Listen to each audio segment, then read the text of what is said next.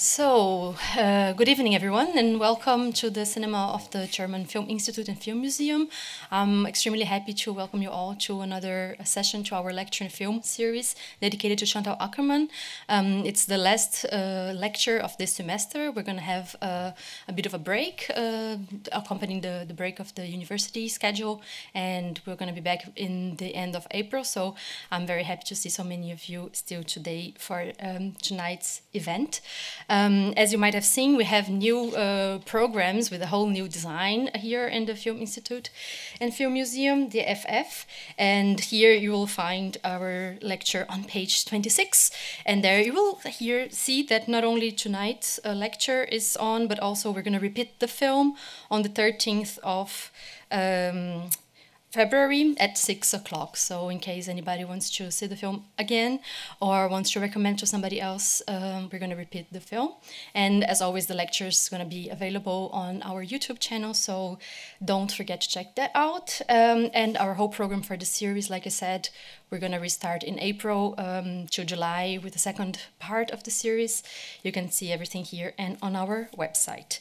Um, I don't want to make this too long. As always, we're going to have the lecture, then a short break where you can still get some drinks upstairs, and then we screen Je tu il elle, and we have a Q&A afterwards. So do stick around uh, if you want to ask questions about the lecture, about the film, and I hope that a lot of you will participate on that as well.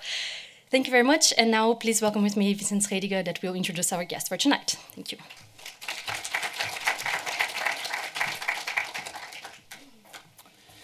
Good evening from my side. What have been considered the best of the very serious Hollywood ghost movies, Curse of the Cat People 1944, The Uninvited 1944, The Innocents 1961, and Robert Wise's 1963 horror classic The Haunting, to name a few, are also, by some uncanny coincidence, films with lesbian overtones. Those are the first lines, that's the first sentence of a now, or one of the first sentences um, uh, of a now classic essay entitled Female Spectator, Lesbian Spectre, The Haunting. Uh, it was first published, or a first version of it was published in the early 90s in a volume called Inside Outside, a classic or a groundbreaking anthology on uh, for queer theory and queer film studies, um, in which this was, uh, without doubt, the key essay. It is an essay, by the way, with which uh, Frankfurt film students, first year film students, are familiar because it is part of our curriculum, um, Introduction to Film Theory. And um, uh, it's uh, one of those essays that uh, really changes the way uh, you look at films, and particularly uh, induces you to completely reread uh, classic Hollywood films that you thought you already knew everything about. To offer the briefest resume, as the title suggests, what haunts these films and what haunts the characters in these films and the spectator is the specter of lesbian desire. This is also, of course, a key figure that inaugurates um, a key figure of thought that inaugurates queer, queer theory as a field, which is no longer just about representation of gay and lesbian um, uh, desire, but is precisely about um, the non representation and the, the questioning of established orders of representation through the workings of, uh, in this case, lesbian desire. That essay which obviously was written by Patricia White, our guest tonight, is one of those texts, academic texts, that uh, provides one of those rare moments in scholarly literature where lucidity prevails and things suddenly make sense from a completely different point of view. It is, as I already said, also a key moment, or marks a key moment in the emergence of what is now the burgeoning field of queer theory and queer film studies, a field in which Patricia White continues to be one of the most exciting and consistently challenging figures. Patricia White received her PhD in the History of Consciousness program, the famed History of Consciousness program at the University of California, Santa Cruz, and uh, graduated actually in the first class of film studies majors from Yale. Um, her first uh, monograph is the book Uninvited Classical Hollywood Cinema and Lesbian Representability, which of course picks up on and develops um, the, the topics laid out in that uh, classic essay. She's also the co author with her University of Penn colleague, colleague Patty White, uh, teaches at Swarthmore uh, near Philadelphia um, the co-author of uh, the film studies textbook, The Film Experience, which approaches film studies not uh, or film not as a question of form, but as a, a matrix of experience. Uh, she edited and introduced a volume of essays by um, uh, film theorist and feminist scholar Teresa de Lauretis, Figures of Resistance, and has published her work in uh, a number of really important journals such as Screen, Camera Obscura, and Cinema Journal. Her most recent publication is Women's Cinema, World Cinema, Projecting Contemporary Feminisms, which was published by Duke University Press in 2015. One of the focal points in Patricia White's intellectual formation and in her work over the years has been Chantal Akerman. To quote just one of those publications, or of the many publications that she's dedicated to Chantal Akerman, uh, I want to mention her 2008 essay, Lesbian Minor Cinema, which is published in Screen, in which uh, Patricia White, in a way, riffs on Deleuze's notion of minor literatures to trace and track the challenges to cinematic convention in Akerman's work, while positioning Akerman's films alongside those of other important lesbian filmmakers, in this case, uh, Sadie Benning. Tonight, we can expect Patty White to add another page to her rich and multi-layered work on Chantal Akerman as she turns her sights and ours to a crucial early film in Akerman's work, uh, Je tu il elle. Please welcome together with me Patricia White.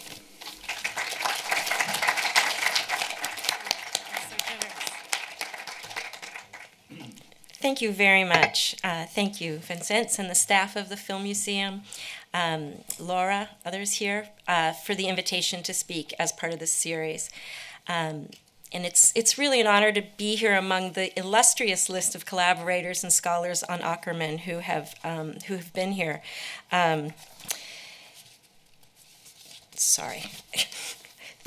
Thank you. I'm just going to I have a slightly different version of this, so I'm sorry, Laura. I, I gave, must have given you the wrong one. Um, I'll wing it. Um, so I um, I, I want to emphasize how important it is to see a whole series of her work um, because, uh, as I want to emphasize in my discussion of Je tu il elle, um, the work taken as a whole reveals themes and formal choices that, rather than coalescing to define a kind of complete oeuvre, provoke a constant reconsideration. Um, and this openness to the new and the now is all the more precious since Akerman's death. Uh, I, the many rich and thoughtful publications and exhibitions, performances, screening series organized around Akerman's work internationally the past few years um, really activate this kind of openness, generating new meanings and new correspondences across space and time. Um, one of the things that I uh, spent, uh, I did last year was um, to edit uh, the 100th issue of the feminist film journal Camera Obscura um, on Chantal Akerman, and I've long been a um, uh, an editor of this journal, part of the editorial collective, and um, it, so this will be out in March and um, available online if you have a university account. Uh, you can get individual um, essays and maybe we'll send you some send you a box um, from the press. Um, so the two themes that emerged from the project that will inform my talks today. The first is intimacy. Um, the generosity of the transnational community of collaborators, friends, scholars, and archivists um, was very moving to me as I as I did this project, um, including people who've been here or might be coming. Um, editor Claire Atherton, cinematographer Babette Mangolte, um, Akerman's longtime partner Sonia Wieder Atherton. Um, an old friend of hers from the 70s in New York, Jane Stein, and of course, um, wonderful scholars, um, Ivone Margulies, um, Janet Bergstrom, uh, Maureen Turim, and Brenda Longfellow. So I guess you can see the table of contents. We have contributions from all of those. Um, so the second thing that really came out for me was time. Um, editing the collection brought uh, forward the connections between the then and the now of feminist film culture. And obviously, Akerman uses time as one of her primary formal um, devices. Um, Akerman's premature death interrupts any account of this history in terms of progression and continuity, but still her work clearly speaks across time. And I'm interested in how contemporary queer theory can reorient approaches to Akerman's work of the 1970s. Um, so I'm going to talk a little bit sort of intertwining the history of Camera Obscura and um, Akerman. Uh, the journal was founded in 1976. Uh, the editorial collective, and we still call ourselves a collective, um, decided to mark the 100th issue of the journal with a tribute to Akerman, as her work was so inspirational at the moment of the journal's origins. And I really think, again, that was a really transnational moment in feminist film culture. Like we were all talking about Akerman wasn't there, but um, in many ways we're far away from that time. Today, the journal is uh, more expansive. It's subtitled Feminism, Media, and Culture, and we go way beyond film um, as the media that we direct, that we um, consider. Um, we used to be Feminism in Film. Um, and we have uh, the field is notably less Eurocentric than it was at that time, less invested in continental theoretical orthodoxies, our contributors engage with theory, very much so, post, but post colonial theory, queer theory, cultural studies, media industry analysis, and world cinema. And yet, Akerman's corpus and wide influence in the intervening decades remain an important measure of the broad scope that the field has, um, has encompassed. Akerman's been a focus of questions of female authorship, Jewish diaspora, trauma and memory studies, lesbian representability, which I will speak about, formalism, intermediality, and slow cinema. And key assessments of her work, such as Alisa Lebow's reading of D'Est, appeared in later issues of our journal. But it was, of course, Akerman's attention to form, which is the rubric under which I speak today, that so suited her to Camera Obscura's founding project. The journal's first issue opened with the collectively written editorial Feminism and Film Critical Approaches. The editors, um, then they were Janet Bergstrom, Sandy Flitterman Lewis, Liz Lyons, and Constance Penley, introduced readers to what Penley would characterize elsewhere as the journal's, quote, distinctive and insistently polemical strain of feminist film criticism. Camera Obscura definitely had a reputation, um, and it, we're still shaking it in some ways. Its focus was, quote, films made by women that offer a critique of the representation of woman in classical cinema. They contribute to the development of a feminist counter cinema, both by having as their central concern a feminist problematic and by operating specific challenges to cinematic codes and narrative conventions of illusionist cinema. So that first issue also included a column called Woman Working by Christina Creveling, who was worked with the collective as well. And it included annotated filmographies of a number of women active at the time, including um, Germany's Dore O and uh, Chantal Akerman. Camera Obscura was able to specialize in this way because of the variety and robustness of feminist film culture in the mid 1970s. The um, editors were, were um, escapees from a journal called Women in Film. Um, that journal, along with Frauen und Film and Jump Cut, encompassed many other dimensions of women's film culture, including activist documentary, um, contemporary industrial cinema, animation, you have it. But um, again, I'm sort of talking about how Camera Obscura had like a sort of curated perspective.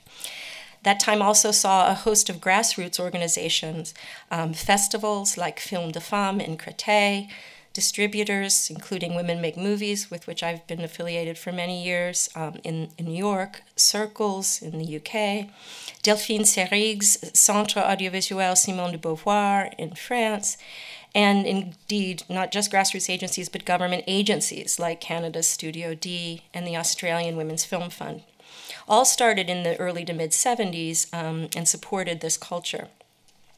However poignant Akerman's um, portrayals of isolation and inwardness in her films, she was not working in a vacuum. This institutional context is an important historical background for the current and obviously shockingly belated or, or repeated conversation about gender equity in the entertainment industry. And I'm just going to make a plug for the current issue, issue number 99 of Camera Obscura, which is guest edited by Hester Baer and Angelica Fenner. And it's entitled Women's Film Authorship in Neoliberal Times Revisiting Feminism in German Cinema. Um, and it's, it's a great issue. Um, it connects the important work of the pro quota regime movement now with feminist film activism in Germany in the 1970s. Um, and yeah, so I think it's an exciting moment of kind of thinking back um, in this context as well to the to the 70s and in some ways what how we've slipped back, um, but also how we can pick up a new um, new parts of this conversation. So while Camera Obscura was politically dedicated to women's filmmaking, it was, wittingly or not, building a canon of experimental filmmakers, including Akerman, Yvonne Rainer, Marguerite Duras, Sally Potter, later Trinh T. Minh-ha. Uh, the journal's editors had studied in France and were interested in Francophone filmmakers and debates around écriture féminine and spectatorship. The journal's second issue featured, I think, a, a, touchstone interview with Akerman after her work screened at the Pacific Film Archives, as well as a short critical essay on Jeanne Dielman, um, Akerman's masterwork, still considered to be her, her most important film, um, which was written by Janet Bergstrom for the collective. So there was this kind of um, attempt to, to be, you know, this is the this is the, the, the collective's opinion on Akerman. The astonishing precision of the language of both artist and critic make these touchstone texts in feminist film studies.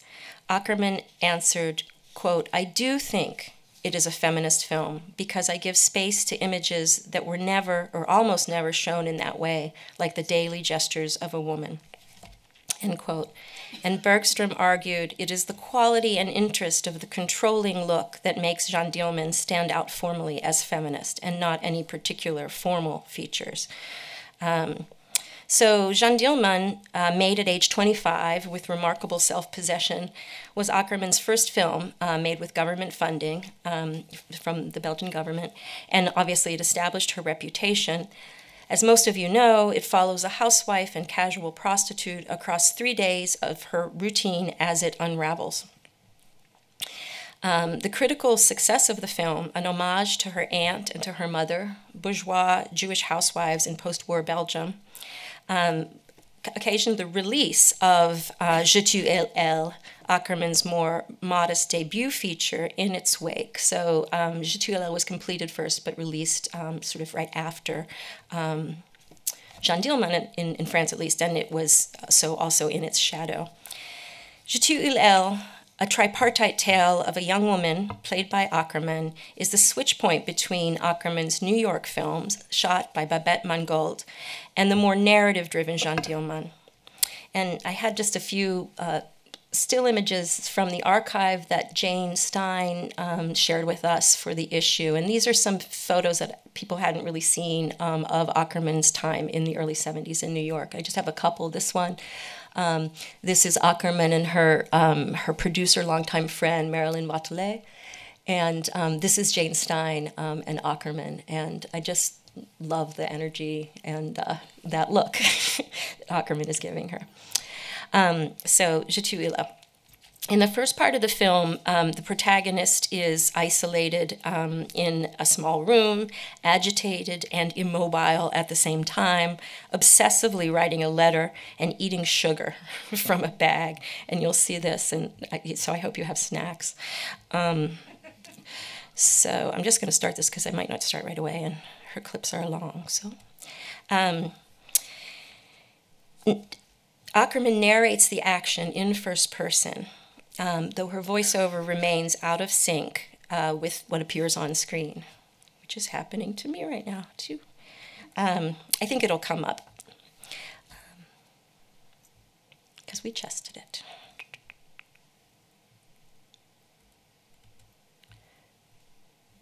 Okay.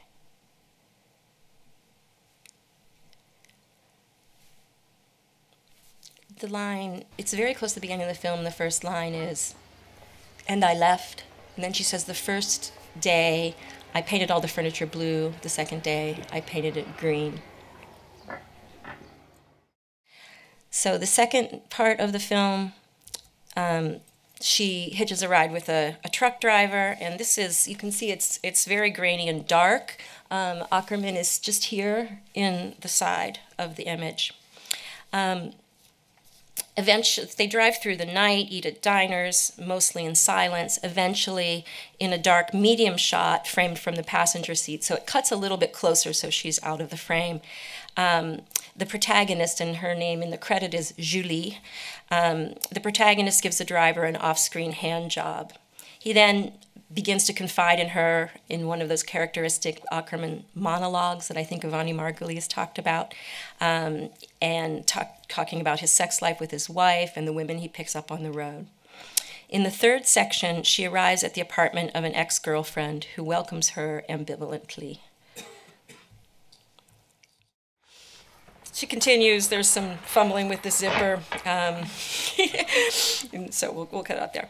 Um, after Akerman's character promises to leave in the morning, the two women make love.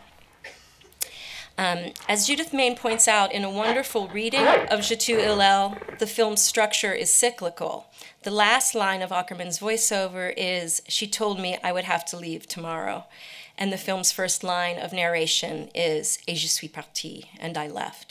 Um, so these gestures of arrival and departure are sort of undecidable. Um, this is the last shot of the film. I'm just going to let it play behind me. I'm not going to really talk about it. So we've had the sex scene in three shots, and I'll have much more to say about that without showing it. Um, let's see if I just hit that. There it goes. Yeah. Um,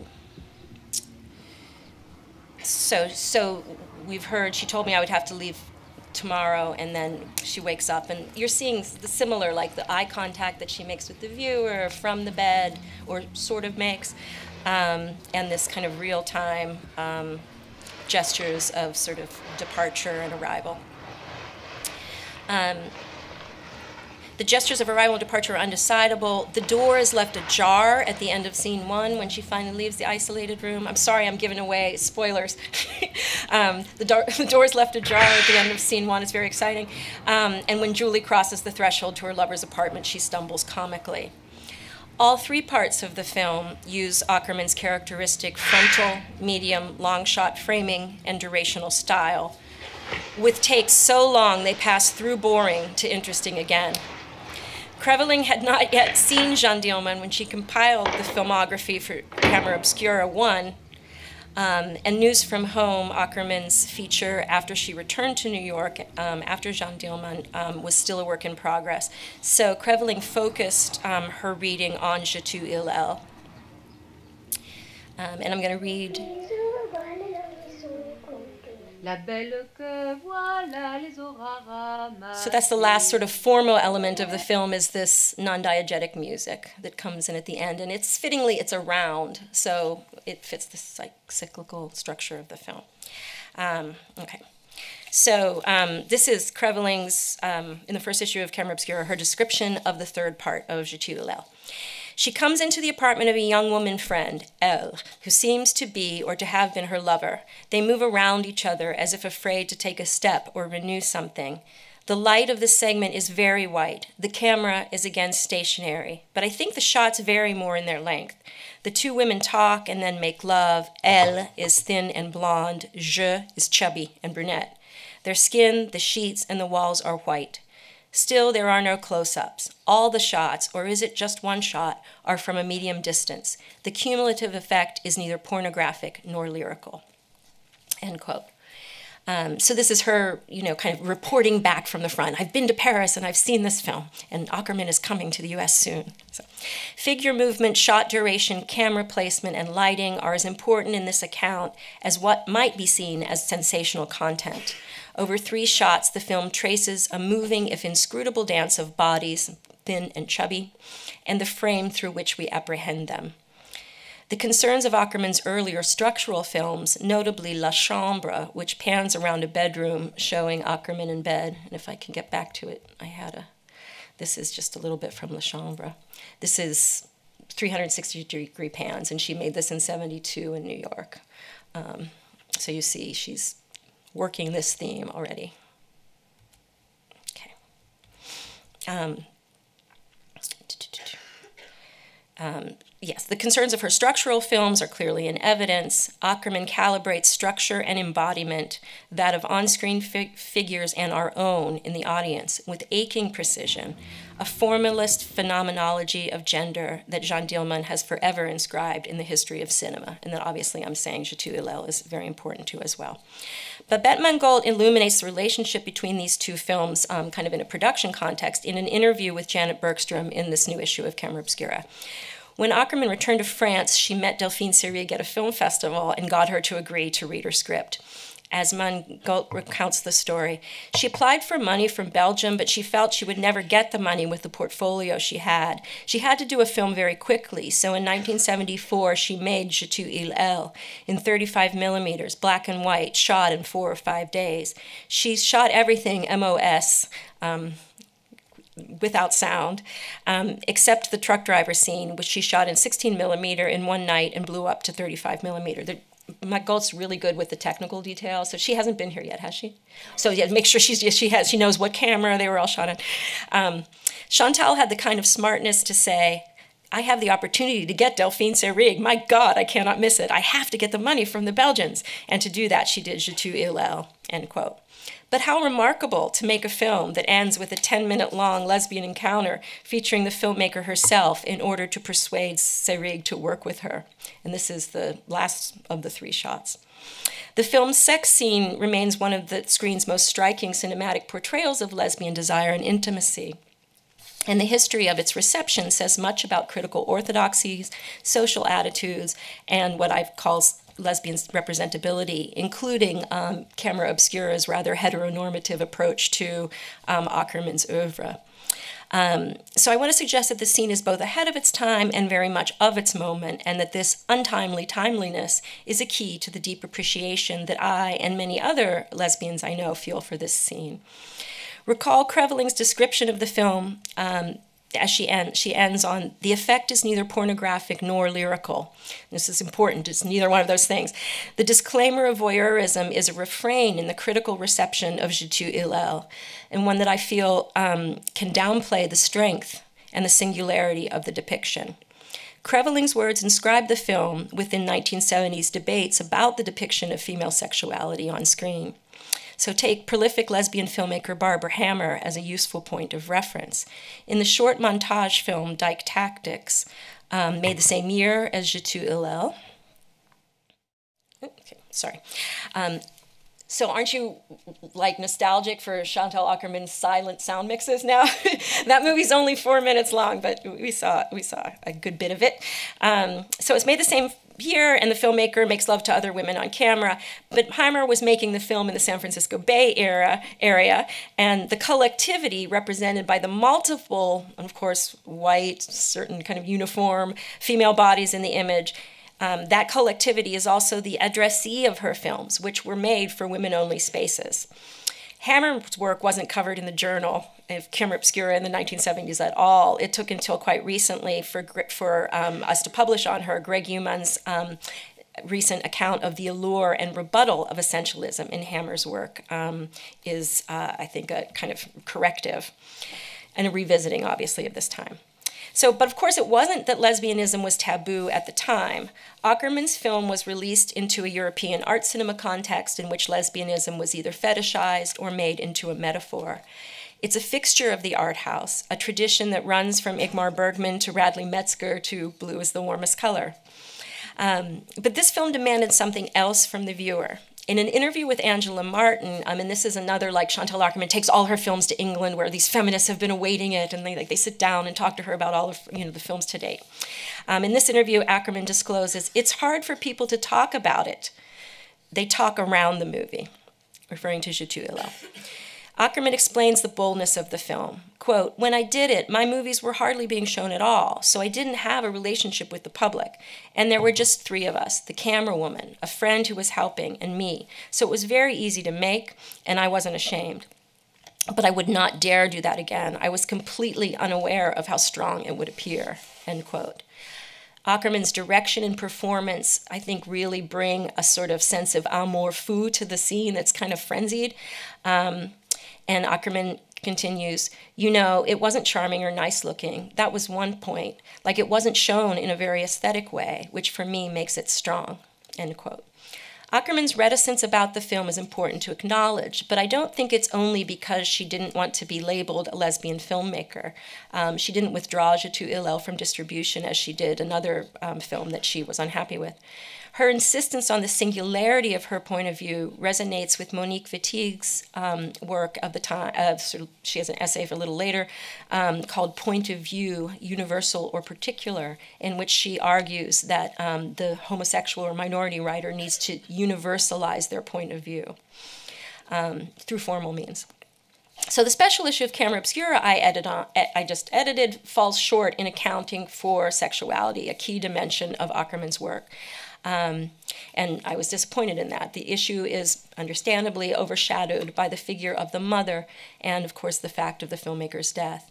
But this gesture of departure, often a joyous joy, I'm sorry, often a joyful one, is attached to lesbian desire and scattered across the oeuvre.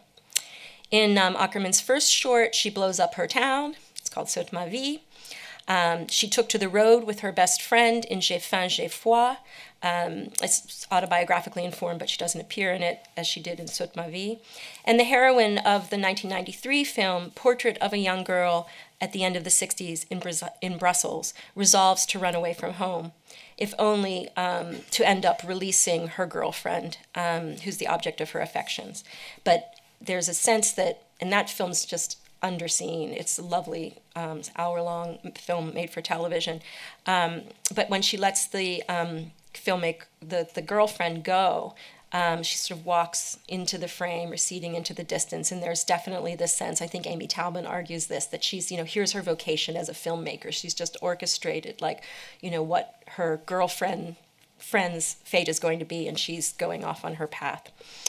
Um, so I wrote in Lesbian Minor Cinema of these films that the young actress, who, this is a quote from that, that essay, the young actress who plays Michelle, the protagonist of Portrait of a Young Girl, bears a strong physical resemblance to the young Akerman in stance and presence. The later film is thus a less fatalistic revision of Saute ma vie, that first portrait of a young girl at the end of the 60s in Brussels, which Akerman was in. But Portrait of a Young Girl, with its lovesick lesbian protagonist, is also a less sexually explicit, perhaps, revision of Je il elle, made when Akerman was in her early 20s. The filmmaker, um, as I've just quoted, remarked about casting herself in that film When I did it, I didn't have a relation with the public. I wouldn't dare do it again. I was completely unaware of how strong it would appear. End quote. I argue Portrait of a Young Girl finds a way to do it again, but differently. The film's story of an almost unbearable schoolgirl crush hints at how strong lesbian representation, such as that found in Je tu il elle, might follow from the gesture of directorial and adolescent self-definition made in that first film, Saute ma vie. If this is sounding circular, it's the, I'm, I'm trying to say that these argument, these films really do kind of layer on each other, and that the gestures that are started in one, even if they aren't um, fully achieved are taken up again. And I don't think that this is, is, is futility. I think it's a kind of creative opening. Um, so, just finishing the quote. Um, in other words, this film shows how a young girl at the end of the 60s in Brussels came to make Chantal Akerman's films and to establish through them a unique and renewable relation with a public itself still in the making. And I think that's what's happening still in these screenings, series, and events around her, um, her work. Um, that there is this kind of, and I will talk about it in terms of address in his contribution to the posthumous Film Quarterly issue on Akerman, it's like it's, it is really an industry, all of the stuff that's out there about her, and it's it's it's it's something about it is I, I don't like, but I also find it comforting, and I think many of the people who lost Chantal really are um, kind of enriching um, that community um, through this work. So, in this contribution to the Film Quarterly issue, um, edited by B. Ruby Rich and Ivone Margulies, Mateus Araujo writes um, a piece called Chantal Akerman, Between the Mother and the World. And he notes this oscillation between leaving and return in the director's work. Um, according to him, the mother is expelled in Saute where the filmmaker plays in a burlesque register at not being a housewife and the mother is replaced in the third section of Je tu il elle by a protective lover who puts up the protagonist after she's left her own house for the night. It's not how I would summarize that, but it's but but I'll make my point in a moment. He then comments on a highly charged sequence in the film Les Rendezvous d'Anna, which is right after Jeanne Dielman. And this is an amazing scene where the daughter, played by Aurore Clement, but clearly not a biographical stand in, um, is sharing a double bed, herself naked, with her mother in a hotel and telling her about a lesbian love affair that had evoked memories of her mother in her. End quote. So I'm suggesting that um, Araujo's sort of um, connecting the um, the connecting this return to the mother through an encounter with the world that's mediated by lesbianism that he kind of doesn't then build up into saying to what extent maybe that um, world that she's making um, through lesbian desire is a kind of departure. Teresa de Lauretis has argued that um, Jeanne Dielman is quote, a film whose visual and symbolic space addresses its spectator as a woman, regardless of the gender of the viewer.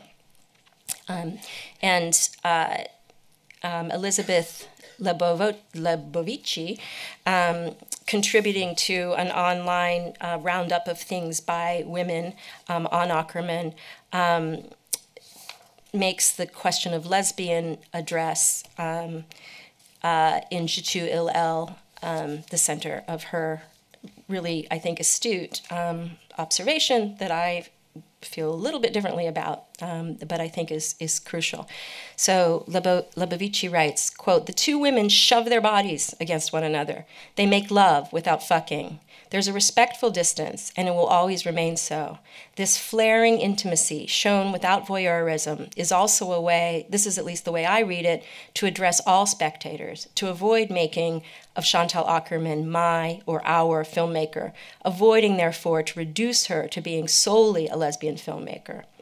In her refusal to identify Je tu il elle as a lesbian film, as elsewhere, Akerman objected to the terms feminist or women's cinema. Akerman somehow gives me a place back within the world. She does not exclude anybody, she includes me. End quote. I think that's a really beautiful formulation. Um, uh, but I think um, I would uh, connect this to how Mon- Monique Wittig talks about um, address. So, um, this kind of idea of universalizing the minority perspective so that it's because we can go endlessly around this question of Akerman didn't want her films to be shown in this lesbian film festival. She didn't call them a feminist film. She said, these are my films. Um, but formally, structurally, I think they do inscribe that position not only as one of enunciation, and of course, the authorship is happening in multiple levels of inscription. In Je tu she's on screen, she's doing a voiceover, um, she's creating a set of camera placements and camera movements that are going to become her signature. Um, and it's inscribed in, in the address to the audience. So, as Benveniste reminds us, je and tu are empty signifiers except in the present instance of discourse. Um, and Wittig actually argues that even those personal pronouns are um, overwritten with the mark of gender. And of course, if you do, even though je and tu in French would not necessarily be gendered once you start having adjectives or whatever, you start to kind of inscribe gender in language. Um, but obviously, il and elle, also part of the title, um, do bear this mark. Um, um, so if we say that Akerman's authorial inscription through voiceover and her distinctive controlling look as director mark the film's je, the place where the film's sounds and images converge uh, is me, um, its intimate addressee. Um, and the third person pronouns, um, il and elle, we could take to refer to the film's male and female characters. And this is, of course, a literal reading of the film that most people do. And I think there's it, its simplicity is an invitation to think about what it would mean to kind of conjugate different ways of thinking about this play of pronouns. Um, but if we do take them to be il and elle, um, we have to show that we have to admit that they're um, assigned very different places in the film. Um, and then one of the most beautiful shots of the film is, um, I think, this one where she's watching the guy shave. Once they've arrived at a rest stop. Um, so this tenderness of her observation. sorry. but that's an Akerman sound mix for you. It's going to, you know, really blast the sound effects. Um, okay, so the tenderness of this observation. In fact, let's do it as a yeah, thank you. um, the tenderness of this observation of masculine ritual, off putting to some lesbian feminists who saw it at the time, and also apparently to some uh, male viewers who thought that she didn't, um, yeah, that the portrait of masculinity you know, didn't, didn't, didn't, like it. Um, um, I think reaches out across our to our own era and our own destabilizing of the meaning of gendered pronouns. Diegetically, Elle is the female ex lover who compels Akerman's character to behave in the way she does um, in, the, in the first section of the film, but Elle is also Akerman herself on screen. By claiming the je on the soundtrack in the title, Akerman opens up space between herself and that on screen representation um, or performativity. So, does Wittig's idea of universalizing a lesbian point of view operating linguistically in uh, pronouns and then in the title je tu il elle how does it apply to the images and sounds of the film's last scene? Um, the scene with the with the lover. Um, so let's see if i can get back in here. Yeah. Um, so i'm going to play this one and this is sort of after she trips and falls and pretends like she's going to leave and finally gets that, you know, crackly raincoat zipped up. Um, she decides she's hungry and she's fed by a slightly exasperated um, Elle. Oh, sorry, what did I do?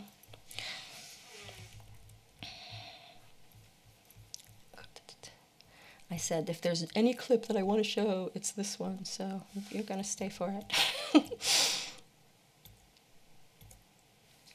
Um,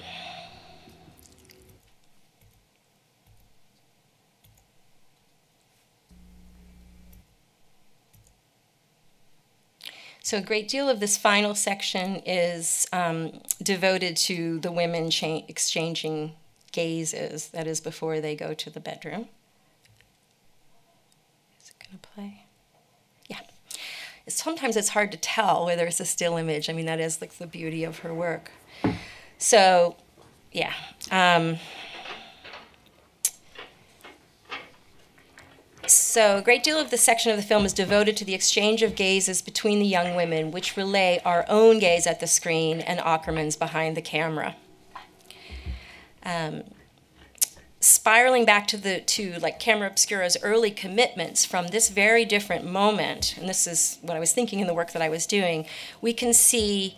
Um, not only that the journal failed to see some of the importance of this lesbian universalized point of view in Akerman's work, but we also, I think, feel what queer theorist Beth Freeman calls the temporal drag of queer history.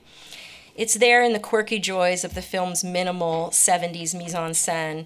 This is one of my favorite shots in the history of cinema. I just love the pattern on the, ta- on the tablecloth, the lover's granny dress, um, Akerman, who's shed her childlike slicker, um, but is like ravenous for Nutella and I think there was also just like a you know Euro envy of me, like wow they they put a lot of butter on sandwiches in Europe, don't they?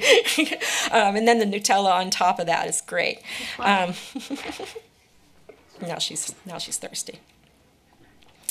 Um, sitting at the other end of this table, I take in this frank and forceful hunger.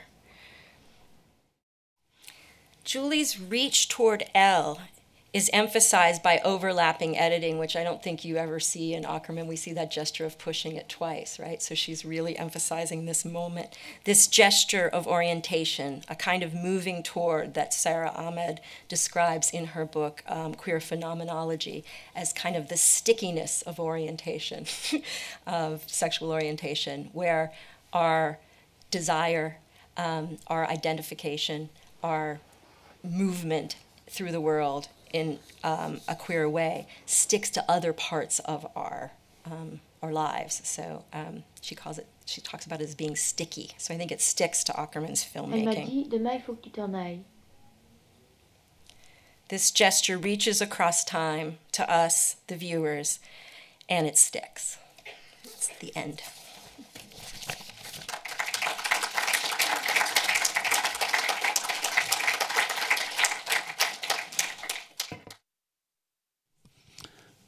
So uh, I'm going to start off by repeating what we were just um, repeating out loud what we were just uh, whispering to each other. I said the sheer mastery of it. And I said 24. She's 24. She she makes this film in four days uh, to convince the actress of her desires, plus the Belgian, you know, film funding people that they should give her the money to make Jeanne Dielman. And there's not a wrong move in this film. The camera, so sure of the placement, Yeah, so I mean- sure of the length of the of each shot, and the performance. She did say, and she says about this about, I think this film, but maybe a few others, that sometimes she would consider casting someone to play this sort of autobiographical figure, but it's really a figure. It's not like a character. Um, and that they wouldn't be clumsy enough. They wouldn't have her, you know, her same presence. And I think she she said, "Don't I have a presence on screen?" and so those moments of just sort of there are contingent moments like is she going to look there um, but they come so they become so i don't know beautiful because of the control all around it I mean, the, the, the combination of daring and self assurance here in, in the director is just uh, it's amazing. Um, How much was written before she started i don't know i honestly didn't Yeah, I mean, I mean that was her, I think. So, uh, how much was written before she started? Is there any um, written, whatever? version of it. I do not know that. I don't know. I mean, I feel like the first sequence is so much a script, um, but it's also there's a kind of improvisational feel to that as well. Um, and the layers of the sound on the image, or is it the image on the sound, um, make me wonder. I mean, I I'm imagine. I mean, I know that she has some intuitive ways of working, like when she cuts. You know, when does it feel right? Um, but yeah, I think there was a script there.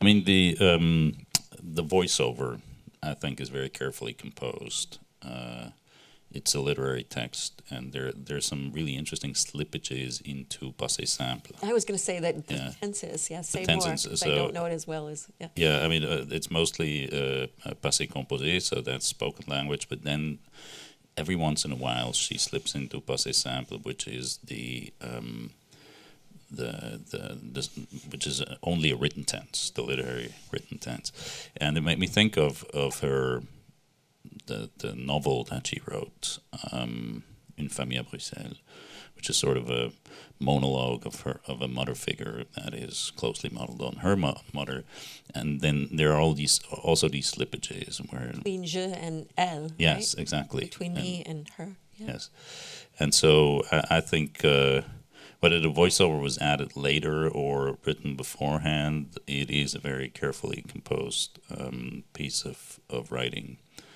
Um, but I mean, the credits don't say. Um, there's no there's no writing credit. Um, it's just I mean she clearly authors the film, but but uh, yeah, and I don't know. I mean, we, we could ask Eric de Kuyper Yeah, we could. what what his and Emile Poppe's uh, role here was Yeah. because because uh, Emile later um, uh, Eric later became her uh, main screenwriter, dialogue partner, but the way Eric uh, described it, anyways, when he was here discussing La Captive, is that he his main function was to give structure to what he what he was doing anyway. so he was basically just recording her moves, um, and uh, it it will be interesting to know if that kind of relationship uh, went into that into that film as well. Yes, Anya, please. I have one question. Um, in the first scene, this sugar becomes more and more really a metaphor, a symbol. Have you done some research or thought about that? What this sugar It's also- means or it's the puder- role of it's this? Puderzucker also. It's not really Puderzucker. It's don't not think what we it German is. call Puderzucker. The sub- the the. Uh, no, It's it's, not. Sounds For for like- us Germans, it's not Puderzucker. Uh, that's true. You're right. But but the role of the sugar, um, it's like a symbol or metaphor. Have you thought about that? Have you? Uh, Well, I think there's the obvious orality that is there in the sexuality and also in the eating, but it's also a non nutritious um, substance. I mean, it's compulsive. I love the sound. I've, I've often read that it's powdered sugar. Everyone says it's powdered sugar. It's like, no, it sounds like granulated sugar. There's this, and to me, that sound comes back when they're rolling around on the sheets, and there's this kind of like, you know, yeah. this, this, yeah, the, this- like almost the scratching sound. yeah, the scratchy It's- sound. But I do think it is the, and then, and also, I think um, Judith Mayne's reading of the coffee in um, Jeanne Dielman um, is sort of like there's this representation of time where she's pouring water just going through a you know coffee filter, and to me the sugar that falls and then kind of gets put back in there there's this spillage, there's this excess, but it's so there's a kind of containing of it, but then it's also always spilling. You had something to yes say about it. also i was thinking uh, regarding the sugar um, sugar has this addictive quality and it's almost like i was looking at it and thinking of like kind of being infused with desire you know and it's something that you know you have no control because there are certain the gesture of kind of consuming it was somehow yeah. it, it, it went to this kind of weird entered banality and like automatism, you know. And I was thinking in that sense maybe desire because am I right to think I'm totally not um, confused that that film starts with saying that she said that I have to go back tomorrow. I have to I leave have tomorrow. to leave tomorrow. It ends with that, and then the first line of the yeah, film that's is interesting. "And Also, I this left." kind of circulation. I just wanted to. Yes. Yeah. yeah, that's right. Is- Et je suis parti. Yeah, it's it's Very it's a spiral. Yeah. It sort of reprises. So Also- it is very much that desire is, you know, defined by. Also, just like observations about that beautiful scene of her um, in the beginning when she says, "I painted the." Um, you know, household blue or whatever, like just references to Hammershøi paintings, and again that Uh-huh. that sense. Uh, there's a scene when she's at the back, and then it just goes dark into the night. Again, this passage of time. I slowly. It was just like remarkable. And I, and then she says later, and the and night fell. But I felt like that was used in Jeanne Dielman. There's such a, a brilliant use of light um, going out to transition between scenes, and it becomes this kind of compulsive thing with the um, Jeanne Dielman Delphine Seyrig character is always turning off the lights, and then it goes to black, and then we can cut. But it worked so beautifully here, and then almost like in without a cut, right? It it just gets dark. Yeah. And stays in that darkness. Mm hmm And those are such beautiful shots of her in front of that mirror and kind of facing out, or do, uh, window. I mean, uh, uh, to add to the to the sugar discussion, um, I mean, the, the the moment when she spills the sugar and then sort of starts to shovel it back into the bag, that's just such a powerful Yeah. scene, you know, the the, the waste and, and, and trying to re recapture it. I was thinking as I was watching it that an alternative title for the film instead of Je tu il could be um, Eat, Drink, uh, Sex, Sleep, or Eat, Drink, Sleep, Sex, um, because that's basically all they do. And and I've never seen a film in which yeah and drive yeah I've never seen a film in which the protagonist eats and drinks so much uh, like, like Right. And speaks so and speak so little. and speak so little. and, and the words, the only sync words she speaks are, j'ai, you know, Uh, j'ai faim, encore, encore, yeah. j'ai soif. yeah, yeah. Um, so that's amazing. I have um, yes. Go ahead, Sonia. I'll, Okay. come, Yes, I'll come later with my little question here. Yeah, just uh, actually, th- there is a concept, a concept you mentioned in your uh, talk, uh, which is this idea of intimacy without voyeurism. Uh, so I just want to ask you to elaborate a little bit on that because uh, I find it intriguing, but I still a- asking myself, can there be a sort of uh, intimacy without voyeurism in audiovisual representation at mm-hmm. all, mm-hmm. or what? What does? Where? Where is the borderline between these two? I, I, I, I think that's a that's a good question. I think I was calling attention to how it was important for many critics to say this scene is not voyeuristic, it's something else. And I don't think that that is her concern so much. There's so many times in the film when Julie kind of looks returns the gaze and it's not a it's not a like you're a voyeur kind of returning of the gaze it's a, a reciprocity um, so i think that they're really almost bound up with each other the intimacy is only possible with that distance um, so i don't know that i would um, claim that there ever that that there's a synchronized intimacy. There's this moment of kind of belated address to uh, you having been there and having seen, and it happens quite literally in the scene where she says, "Somebody walked by." Um, who was looking at me, and so I got up and stood naked in the window so that other people could see me and then boom, boom, boom.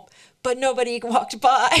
fewer and fewer people came. So I think there's a, a funny um, there is a there's a there's a opening in the intimacy that maybe could be voyeurism, but is is certainly temporal and spatial and I don't know. In a way, I'm thinking of the tenses that you were commenting on. That there's this yeah. So I don't know if that answers your question, but I I'm not so ready to deny voyeurism. I think that there's the the idea of voyeurism as kind of like um, uh, like if it was composition in depth, and there's this kind of idea of you being um, not uh, looked at, th- that the looker is effaced because of the illusion of depth and that and she definitely goes against that notion of voyeurism with the frontality that you can't be positioned as like a owner of the image in a sort of monocular perspective she does that really well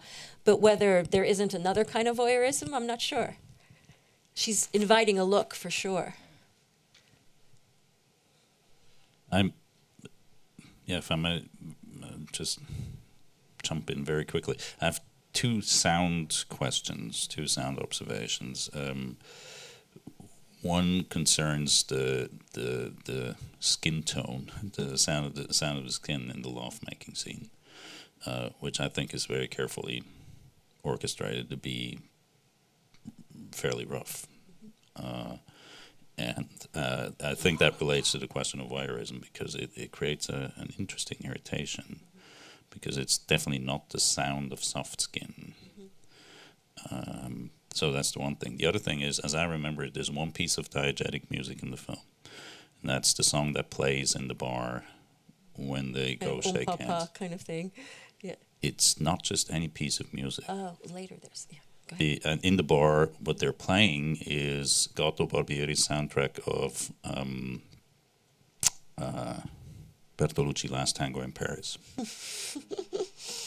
and uh, I'm thinking that's a choice. I don't even know what to make of that. Yeah. and and then I mean as the relationship develops, um, it's can- it's an episode of Cannon, the tel- uh, American television show. Yeah, because it's just at the end you hear him say, "Well, we can't thank you enough, Cannon." Yeah, but it definitely has a '70s TV Yeah, soundtrack. yeah. Yeah. t- t- the TV dinner scene.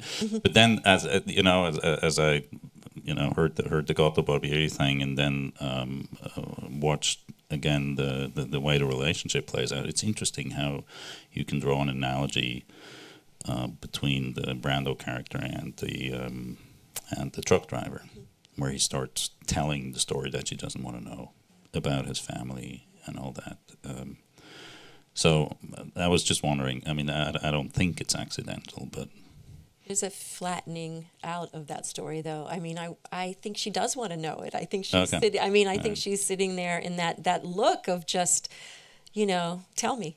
uh, okay. Um, So in a way, you could say it's a rewriting of of Bertolucci's, and yeah, I read somebody mentioned that he was Warholian, that character, and Mm. I, I think I mentioned this to somebody that that it reminded me of Warhol's blowjob, Absolutely. where you have no idea what's actually going on underneath the frame, right? yeah, um, it's performance, or, but there's a, such a strong sense of, of off-screen space, but it's already been established as this truck cab, which is so already yeah. circumscribed uh, that you're, you know, I don't know, you're thinking about off-screen, that there isn't much off-screen space, but Yes, please. um, to come back to the sugar thing, um, perhaps it can be explained from the situation. She's spending many days, the character is spending many days in that room, and you have to eat something.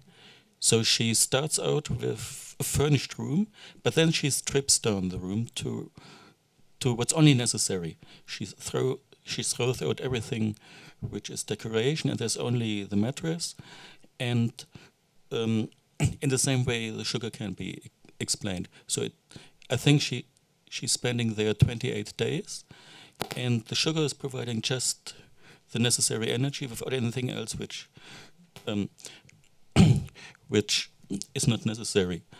And after that first part is finished, after the je part is finished, she is moving into another story, into the il story, and I, I believe um, that he is providing the food. I guess that he is fa- he is paying the bill in the diner, and in the last section, in the elle section, um, food comes back. She says, um, "I'm hungry. J'ai faim, j'ai soif," and um, so the sugar bag can be explained by its function.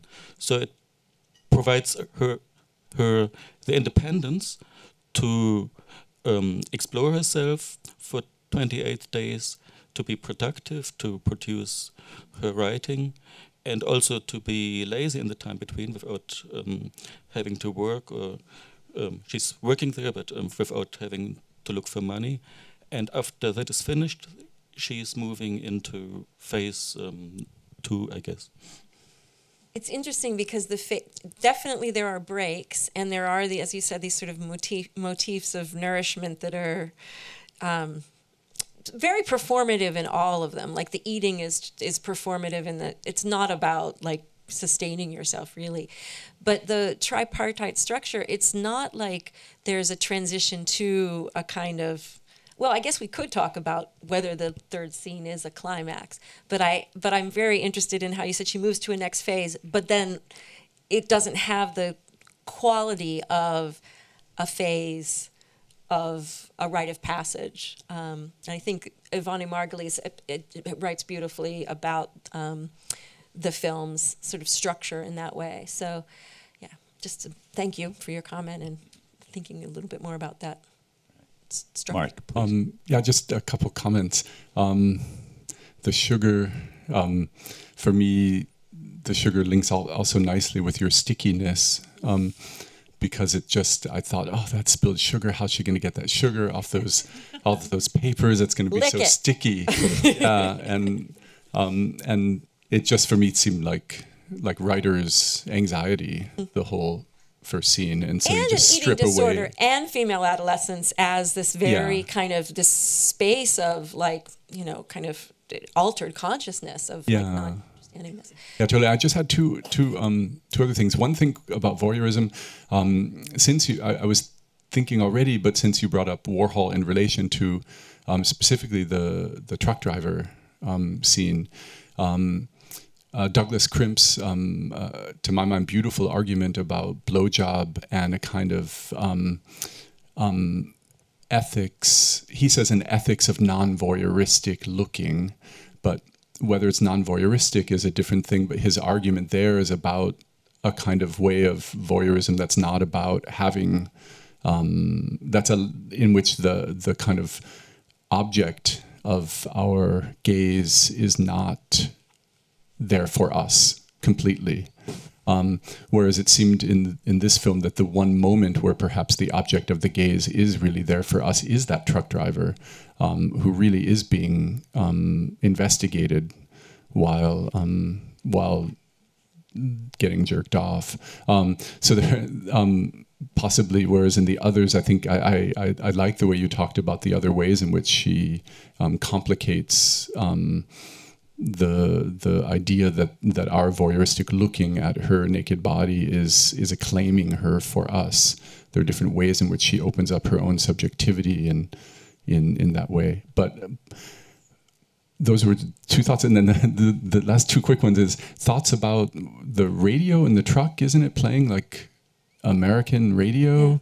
Um, and the um, the sound in the sex scene where it's this kind of like close to a microphone yeah. breathy humming that's certainly not well doesn't sound like the kind of sex sounds it's a different kind of commentary if you have any thoughts about that um, when you, you mentioned the sort of scratchy sound of the of the sheets, which are closely mic'd, but that the hum is very to me and c- connected to the the song at the end. Um, reminds me of of Akerman. Well, a lot of sound in her films is um, not articulated in terms of like even when they're long monologues and you you know you understand all the words it's there kind of as a block of sound it's another um, dimension of uh, I don't want to say subjectivity, it's sort of objectified personhood or something. So I feel like it is a very, to me, it's a very beautiful, intimate moment, the humming. Um, it might lead to the author whom I cited kind of saying that there's something protective and maternal going on, like a less um, uh, erotic version of the scene that we're seeing. And it isn't, it isn't, I, I don't know. So I'm just riffing on what I think's good. But I love the humming there, and it reminds me of Akerman's voice in other um, movies, singing off key, or um, or ha- having sound that's not signifying, and that seems to me really precious mm-hmm. in that moment, and maybe counter to this this the the strength. I'm using her word. It, I, yeah says, I didn't know how strong it would appear that there is this um, softness. Mm. Um, American radio. Ah. Uh, I was thinking, I mean, to, to motivate it realistic in, in realist terms, you would get those kinds of. I mean, it's American uh, U.S. Army radio, and you will get those signals while driving around Europe in the 1970s, even like uh, 10 years ago. Now they seem to have vanished because it's gone, all gone digital. But but uh, you know, if you grew up, ask Rembert, if you grew up in in uh, North Rhine-Westphalia in the 1970s and 80s, you would listen to British um, uh, pop music on the British Army radio and and so all across Europe, if a, a, truck driver drives around, there's a, there's a good likelihood that he would that he would tune into an American um, radio program, which was specifically broadcast for American troops stationed in Europe.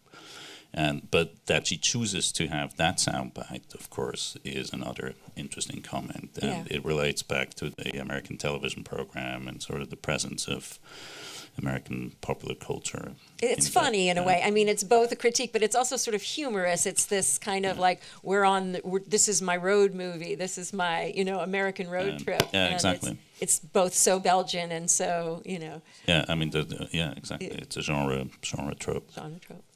A cheap genre trope. I mean, her sound mix in this film is just amazing. Incredible. Um, yeah. You want to say something? Yeah. The, um, I remember somebody listens to that uh, American radio and then switches it or seeks for another uh, station. Then there's a short sequence of another station, then turns back to that American station. Yeah, actually, you could probably you, uh, we listen to American radio too here in Europe, but I'm not sure whether you'd get an American um, TV series on um, in a Belgium whatever restaurant. Yeah. I think this was mixed in by her in purpose. I'm not sure. Well, I mean, having having lived in the Netherlands, I would have to say it's very likely that you get it. You get it with subtitles.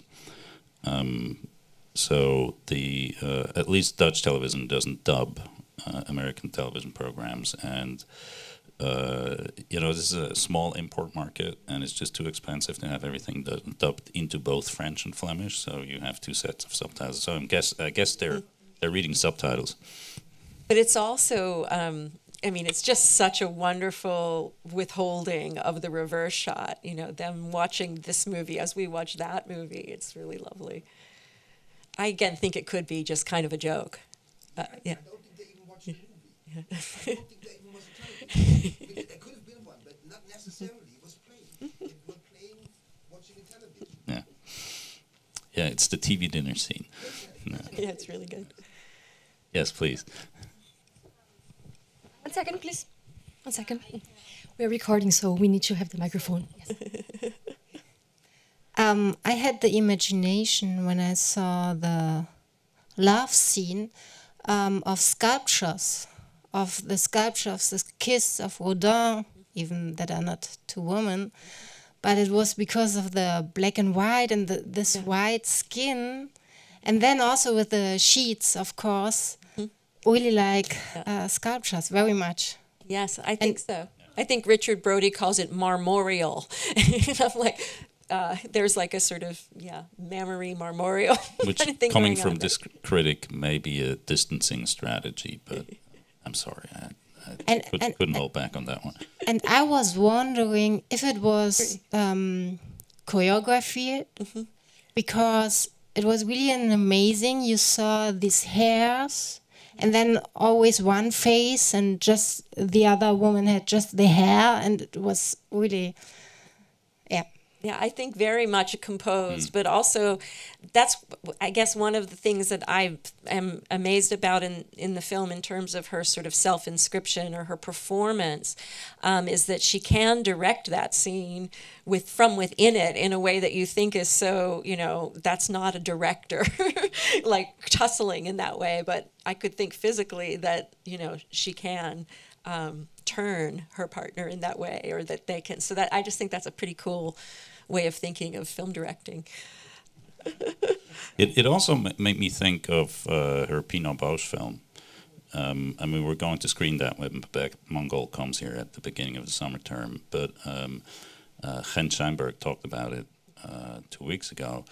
And what, what is really interesting about Chantal Akerman's take on Pina Bausch is what she focuses on, as opposed, for instance, to Wim Wenders Yes. it's always those, those you know sort of sort of moments of conflict, desire, um, and and uh, you know it has some some of that quality that scene. i'm But but I like I like the idea of directing the scene from within it. That's a great great way of describing it. Yes, please.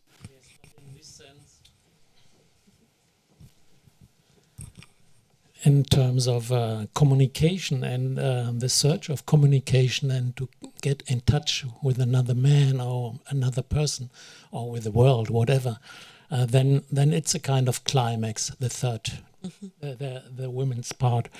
In in in, in the first part, you have uh, you have a searching and writing, but there is no one no word uh, which she, she speaks. right it doesn't In the second part, you have no word of her, not one. Uh, she's just looking and maybe doing something with the man, for the man, getting nothing back. And uh, the way of uh, uh, uh, communication in the third part is such an uh, such a wonderful, distinctive play of the two bodies, and they are talking so much. In, in no other scene of Chantal Akerman, I have son, seen so much uh, movement. Uh, so the movements are uh, miles away from uh, which you, you said, which she invented in her other film, where, when they were dancing uh, in, in the in the bar. And and even maybe Pina Bausch gets a little bit to it, but I think this is uh, it's just mm, einmalig. Uh, n- never, never done with the only with any uh, uh, uh, Singular. Dan- yeah, singular. With with any dance piece, it's not comparable. They are dancing, composing, and improvising so unbelievable that you, it's breathtaking. Thank you. Maybe I add my interpretation as well, because for me it's complete. For me personally, it's completely clear. These three um, uh, sequences. The first one is a woman at 22. What are you doing with 22? I know very well what I did at 22. I search for a position for myself in life and this is exactly what she does this is a metaphor the room she moves the things the furniture in the room she tries out the mattress against the wall against the window it's trying to position yourself as an artist in the world. Dot. That's the first sequence about. The second sequence is Chantal Akerman, what she always did as a as a filmmaker, and this is why I love her so much. She um, she gives other people a platform to present themselves. That's how she worked as a filmmaker. She she gives a platform and the world is going by and, and we as spectators can see through her how the world is going by. That's the second sequence.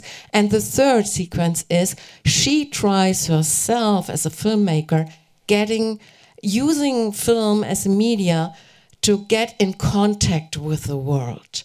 And for me, this this so-called sex scene, it's not at all a typical sex scene. It's more kind of fight like Laocoon. Yeah. It's uh, it e- doesn't even has this this usual climax with an orgasm and so on. There's nothing building up.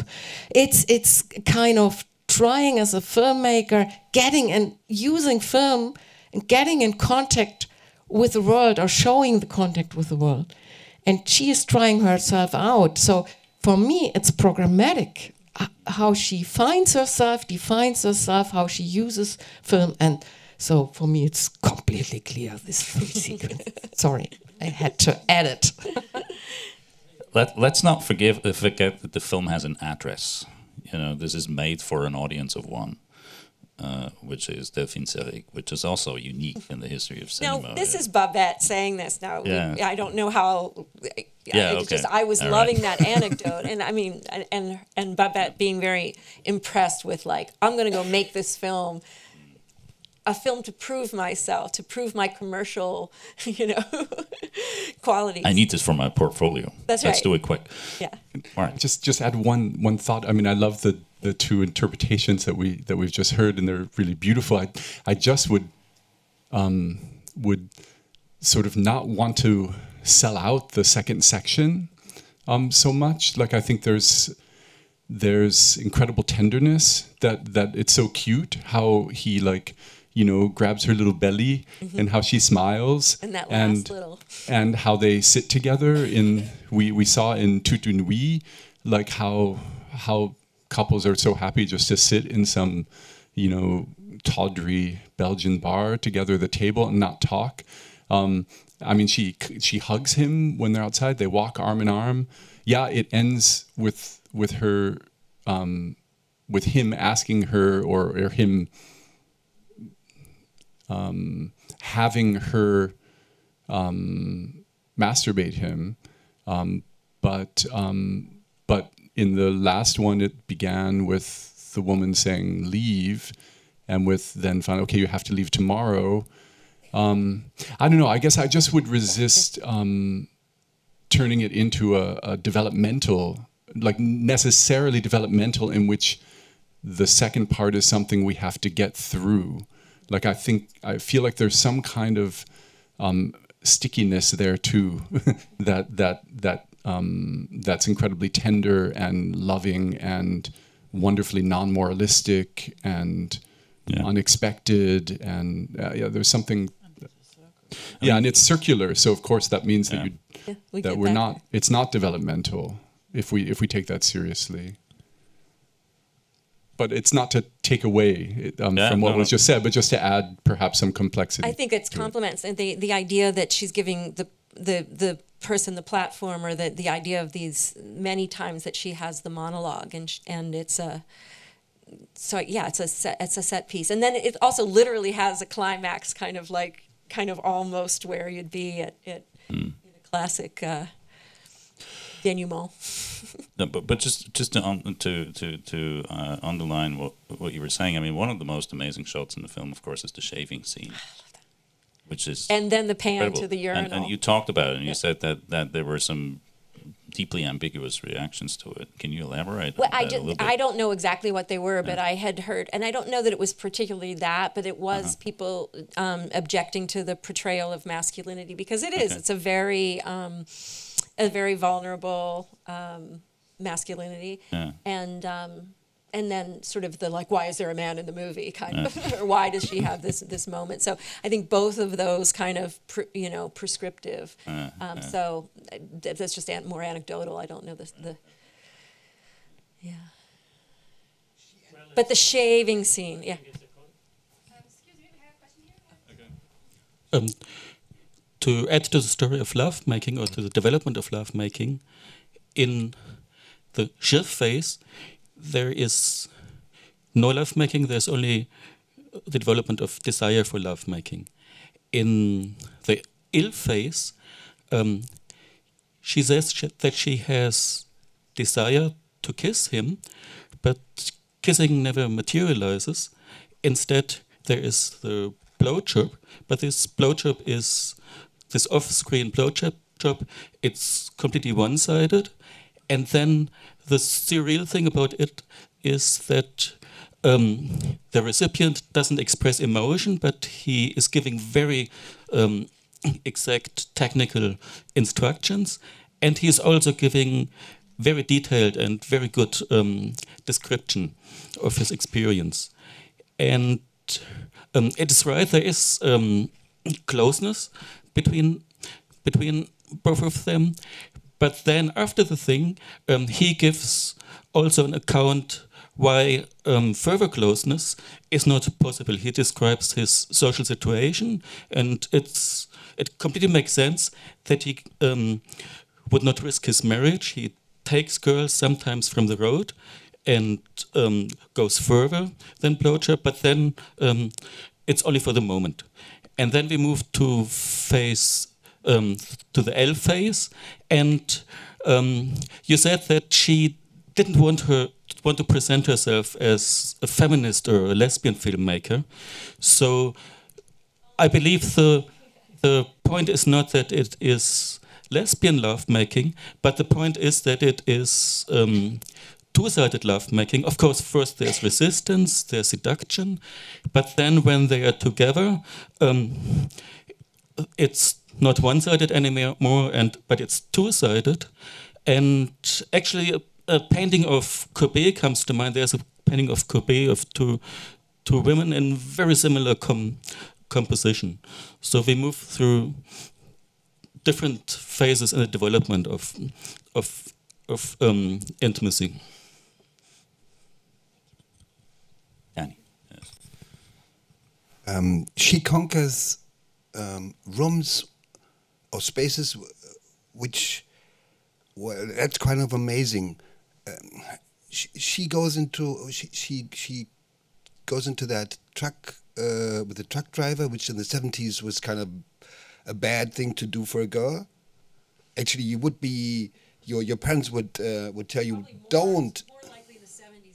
Yeah, don't go with the truck driver. Yeah, there'll be. She did.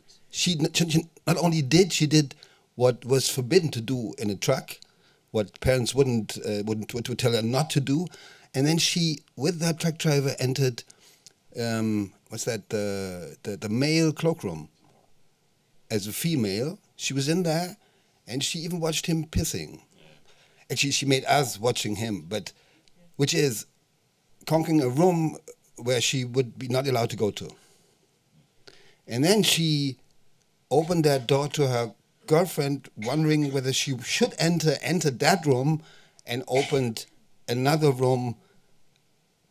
I mean, she, she opened the dress of that girl and and kind of opened another room. So she conquered kind of, she was, yeah.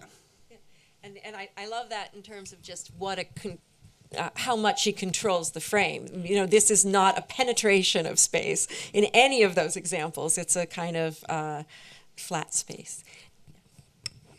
Um, yeah, just to f- uh, just to follow on all these discussions. I mean, what strikes me is, and to move it back towards the circularity and against the kind of teleological, like this is the one, two, three.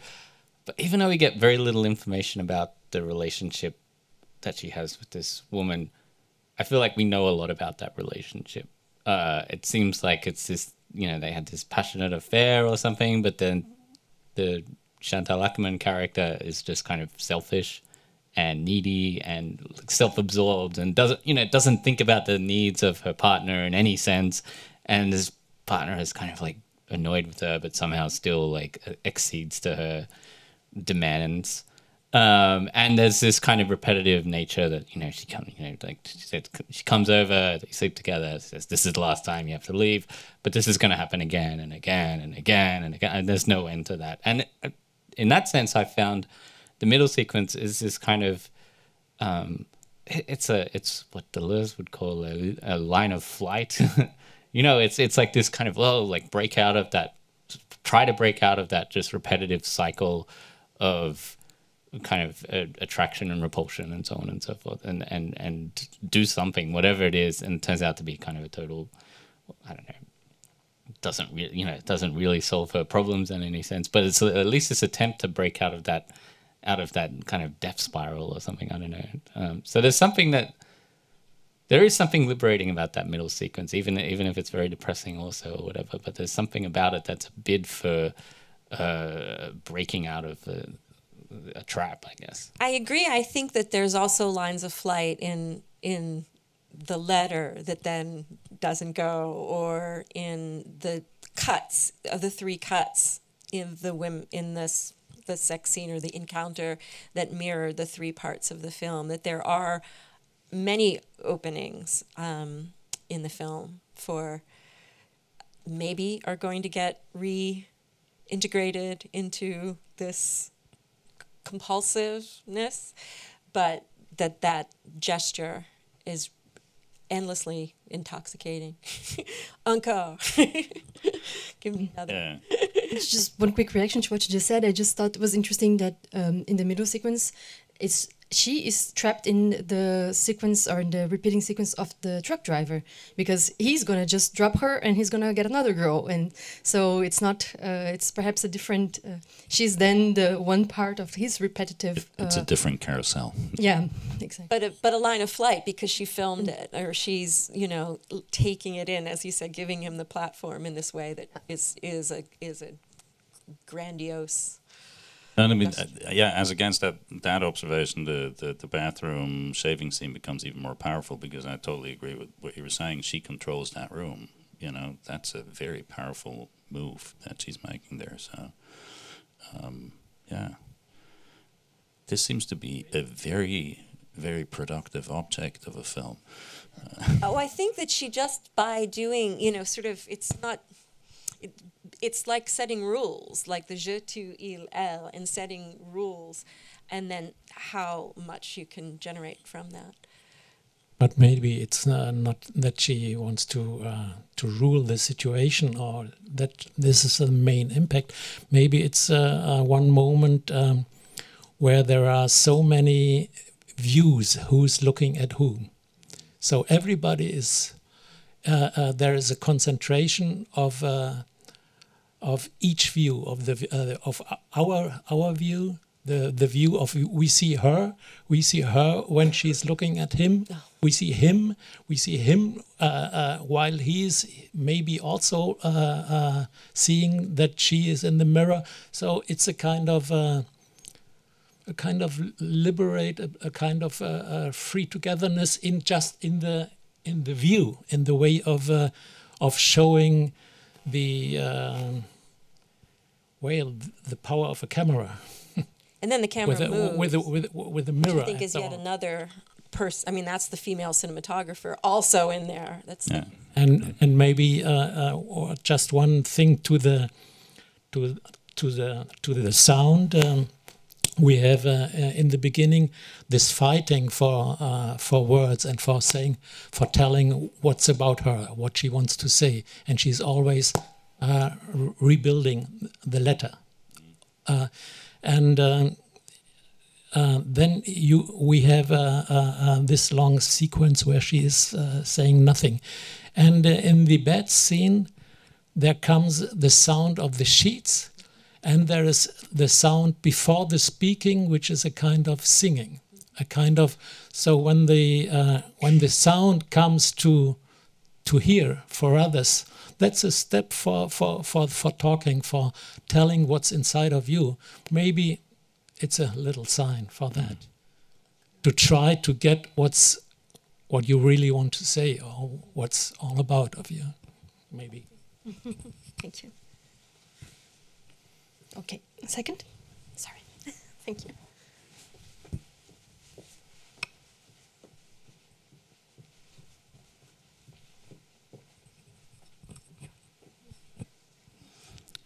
What was astonishing in the beginning was the um, the imagery which was in between filming and photography.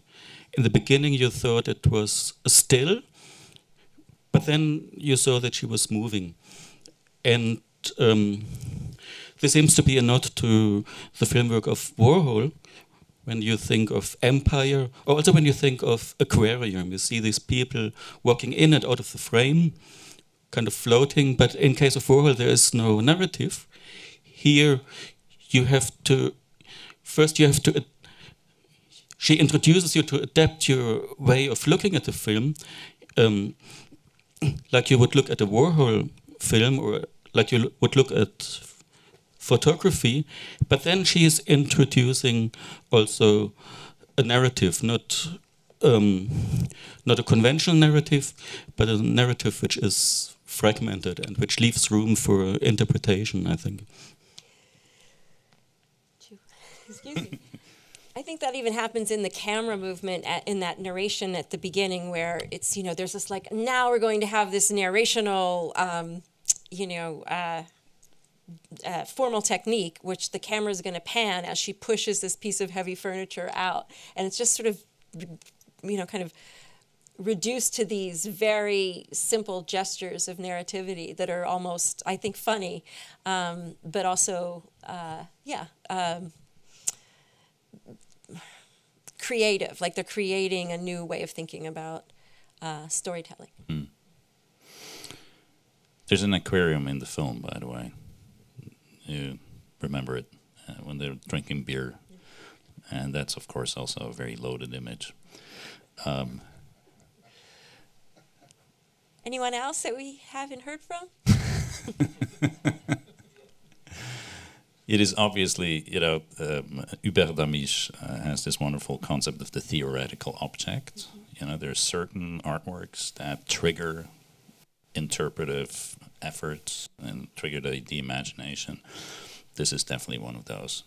It's definitely a theoretical object and so much more, as you have shown us. And um, I think we can thank everyone for weighing in and contributing to this very lively debate. And thank, you so much, for coming. Yes.